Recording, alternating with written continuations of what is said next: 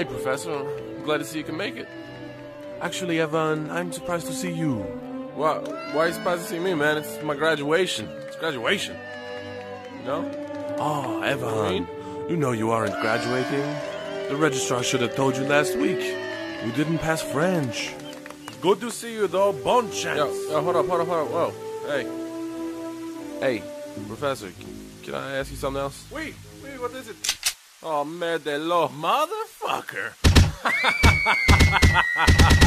oh, no, I'm sorry. Yeah, no, it's, my fault, right? Yeah.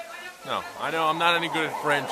I'm not an 18 year old who just came, you know, for five years of French. I'm not a smart man. But you're the one on the ground. You're the warlord that's laying in the mud. There's nothing more I can say. I, can, I am out of here.